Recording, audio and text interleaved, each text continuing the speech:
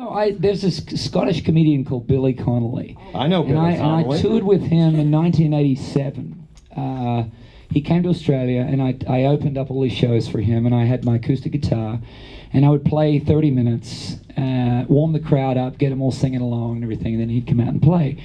And he used to finish his uh, set with a song on on, uh, on guitar, on acoustic guitar. Well, this one night uh, I did the show instead of as a solo act, I did it with my duet partner. And when I do duo, I play electric guitar. This is a bit of a long story, but I'm getting there. They're not going anywhere. Don't worry. They're here. So uh, we're at a place uh, that's probably a couple of hours away from the hotel we're all staying at. And I've got my electric guitar and everything. Well, Billy comes down to the dressing room and he says, "Ah, he says, hey, kid, could I borrow your guitar a minute?" You know? And I said, "Oh, I don't have my acoustic guitar. I got my electric tonight." And he goes, "Oh, that's okay."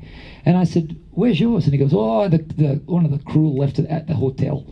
You know, and I'm like, "What the?" You know, I, I went like, it's not even my guitar. And I went completely nuts. Like, I can't believe I would fire that person. And I just got me. And he stood there like looking at me. And he, when I, when he's like, are you finished? he goes, it's not here and it's not gonna be. Christ.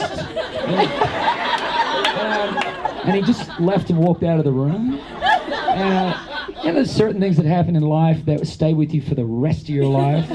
And whatever that moment was, it was like the most powerful, profound lesson of just accepting something. Because if that was me, I would have fired somebody, screamed at everybody, have completely ruined the evening, and I still don't have my guitar, right?